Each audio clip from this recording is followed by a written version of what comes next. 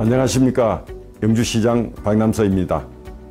영주 사과가 빨갛게 익어가는 추석을 맞이하여 시민 여러분과 고향을 찾으신 출향인 여러분께 명절 인사를 드립니다. 영주 들녘은 우리가 흘린 땀만큼 풍요로운 가을을 맞이하고 있습니다. 물이 익은 영주의 들판처럼 하시는 모든 일에 풍성한 수확을 기원합니다. 어느 해보다도 긴 연휴를 맞아 휴식과 함께 소백산의 전기로 새로운 에너지를 얻으시고 소원했던 지인들도 만나면서 즐거운 한가위 보내시기 바랍니다. 시민 여러분, 사랑합니다.